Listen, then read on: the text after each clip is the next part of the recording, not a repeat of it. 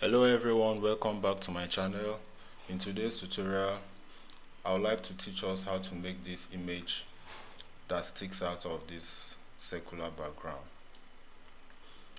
To start click file click new set the width to 1000 pixel and the height to 1000 pixel. Click create. Click the ellipse tool hold shift and draw a perfect circle that is perfectly round.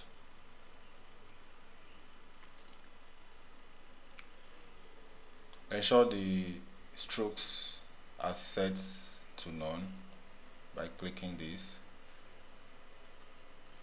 Set the fill to any color of your choice. I'll be using this color.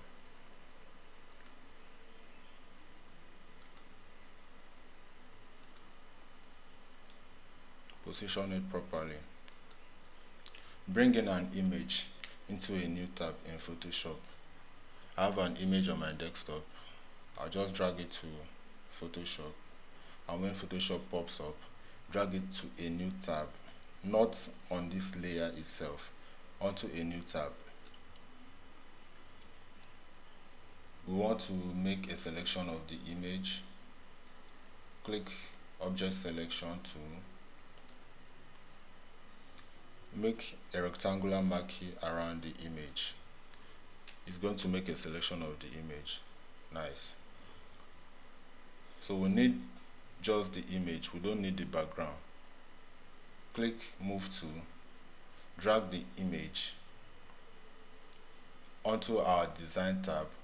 Once our design tab opens up drag it into the area and drop it the image is bigger than the size of our design area so we need to scale it down. Zoom out so that you can see the sides where we can drag to scale it down.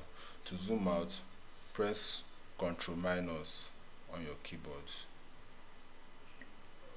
So I think this is fine. Then to reveal the outline press Ctrl T.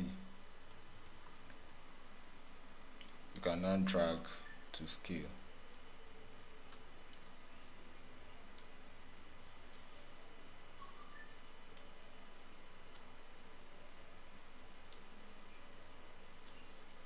Ctrl plus to zoom in.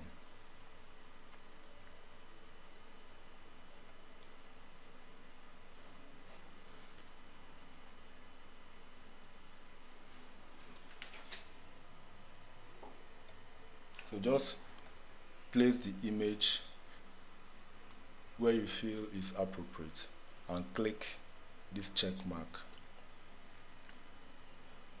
Right click on the image layer. Click create clipping mask. Is to clip the image inside the circle. Ensure the image layer is selected. Duplicate the layer by pressing ctrl J on your keyboard. On the duplicated layer, add a layer mask by pressing this layer mask icon. Ensure the layer mask thumbnail is selected. Click the brush tool and ensure the foreground color is set to black. If it's not set to black, press X on your keyboard to switch between foreground and background color. After setting it to black, use the brush tool to paint around the part that is outside the circle that you don't need.